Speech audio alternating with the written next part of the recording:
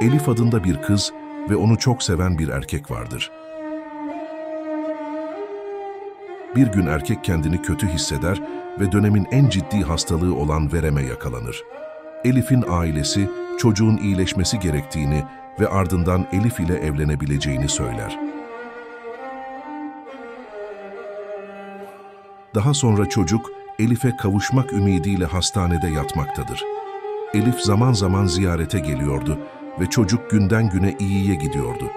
Zaman geçer, çocuğun gözü yollarda kalır çünkü Elif artık ziyarete gelmiyordu. Ailesine nedenini soran çocuk, kalbini, aklını ve hayatını alt üst edecek bir haber alır.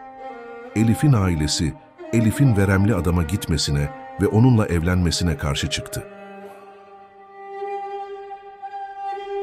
Bu yüzden Elif'in oğlana gitmesine izin vermediler.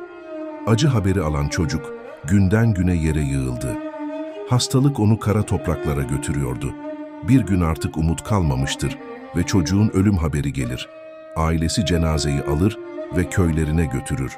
Cenaze hazırlıkları sırasında gencin şapkasından bir kağıt parçası kayar ve yere düşer.